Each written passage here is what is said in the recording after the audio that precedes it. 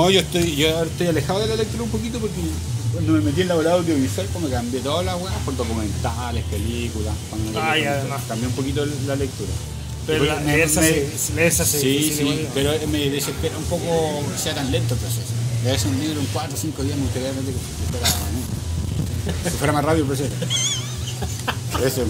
Pero. Yo cuando el libro es bueno me demoro seis, un año. Ah, bueno.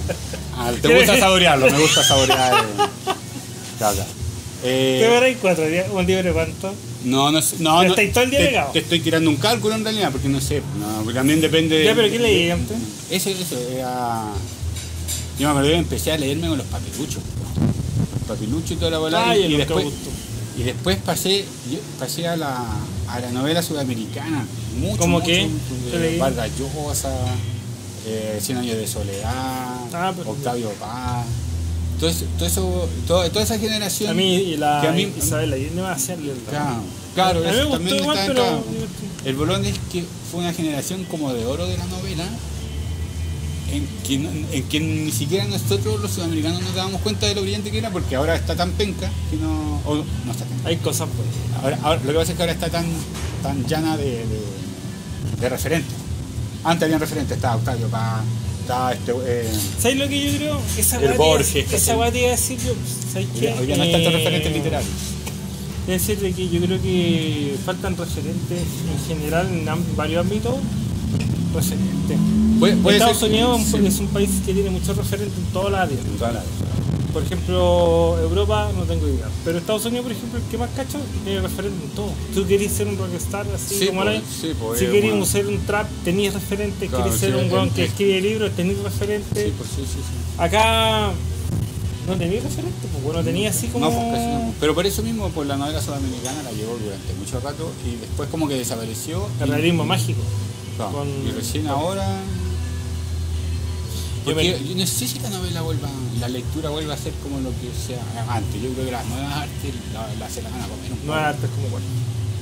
Con- Desde los videojuegos hasta las instalaciones, hasta las nuevas formas de narrar. La poesía, ¿qué espacio hay para la poesía hoy día?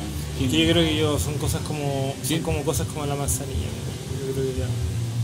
¿Que van para siempre o que desaparecen? No, que van a desaparecer.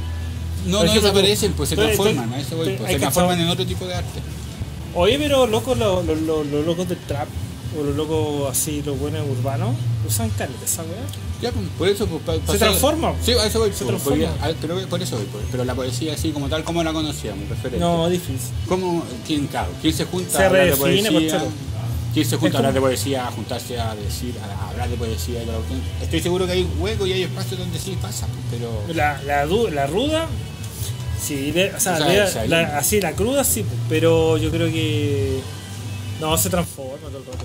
Se transforma. No, no, no hace lo mismo. Por ejemplo, estuve escuchando una canción que se llama, que es de Elton John. Yo siempre ubicaba a ese weón, sé que era así ultra drogo, pero más que eso no callaba. Y, y la loca que le cantó, la canción que le cantó a la. Sí.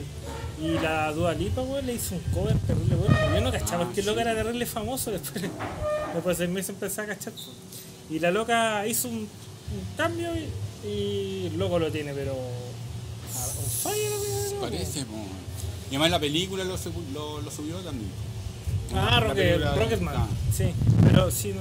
Igual que a mí- ahí hay una cuestión súper divertida, ¿eh? porque eh, Elton John y David Bowie, que son más o menos de la misma generación, todos son cantantes, ingleses, los dos y toda la cuestión, tomaron como una estrategia de marketing o de, o de personaje, como queréis decirle, de vestirse raro. Pero de, decir- Ah, de vestirse raro mal. Raro, extravagante, así, ah, weón, unos lentes así, una, oh, weón, Llamar una- la atención. Llamar la atención con su ¿ya? Pero sin embargo, en el día de hoy, tú habláis de David Bowie y habláis como de David Bowie en su rollo con, de vestuario, así como con cierto respeto. Ah, un, al artista que estaba buscando una canción. Y sin embargo, Elton John envejeció mal. Y te, ¿te acordáis de él? ¿Te acordáis de un huevón vestido de abeja? Así como tocando. ¿no? Y mal, mal los vestidos, muy mal, ¿cachai? Entonces, no sé qué, cuál será el detalle que hace que uno haya triunfado en ese aspecto o que haya recordado bien y el otro porque Yo.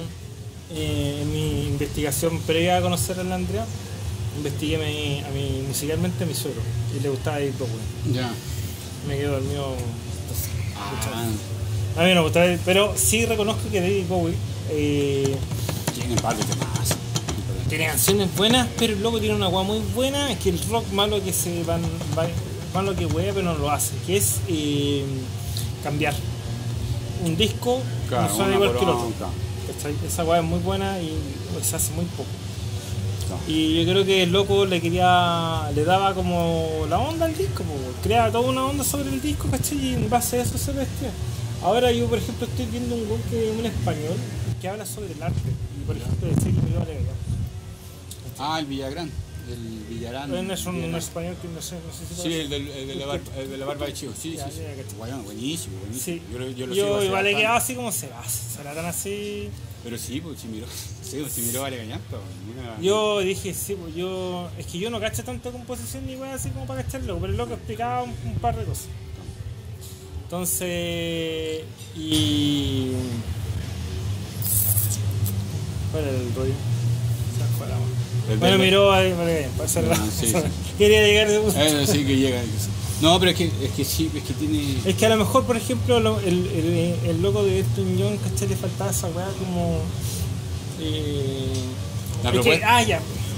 Sí, tú podías ser extravagante o cuando tú me presentáis una obra de arte o una y querés ser raro, está el raro que lo hace bien y el raro que hace puras cagas, Claro. ¿cachai?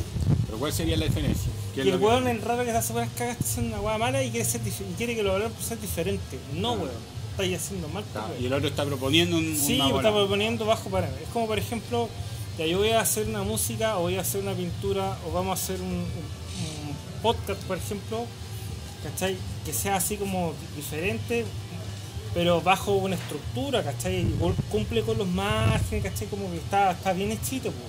No una weá al lote, ¿cachai? Que no se entiende ninguna weá, ¿cachai? Claro. Y tú ponías la música, o la ponías allí, la ponías allá, ¿cachai? No, pues, ¿entendés? Yo, todas las cosas yo me pico que tienen su ciencia, po, y no se hacen ni se estudian por nada. Yo creo que ese, yo creo que iba la weá. Y a lo mejor el loco, ¿cachai? No sé, yo no conozco el Tundón. Y seguramente como que hizo esa weá, pero hizo como. No era la, no era la oveja lo, lo más indicado. Claro. No alguien que la asesorara y dijera, weón, ¿sabes qué? Claro. Como alguien que asesorara a Stevie Wonder cuando empezó a vestirse con, con bata. Que hay una época de Stevie Wonder. De Ah, ah, Stevie Wonder es ciego, es ciego. Por Sí, más- sí. porque él no se vestía. Ah, él no se vestía, él lo, lo vestía. ah. El Stevie Wonder, Stevie Wonder de los 70 tiene toda una pinta así como de 70, de funk y Ah, ya, 40, ya. Y de repente pasa a, la- a los 80 y cambia un poquito su música, Y el loco empieza a salir con estos como dreadlocks apretados, Sí, sí. de hecho, eh, y como con unas patas así como como rememorando el pasado africano. Ya, Mm, pero dando como un mensaje o no, era, que era- combate en verano. Claro, eso era. Era, no, era la propuesta artística que alguien le ofreció. O a lo mejor se burlaban de él y le decían, no, te estás vistiendo igual, igual. y no- cachaba. Pero, pero, pero sí, pues, un mal, que tener- lo un mal, mal ejemplo. Hay que tener cuidado cuando te, te, tu asesor te diga viste en bata. Puta, O tener mucha peso también. Hay un caso en la serie de televisión, no, es, pa- eh, no es lo mismo, pero es parecido. Eh. Felicity.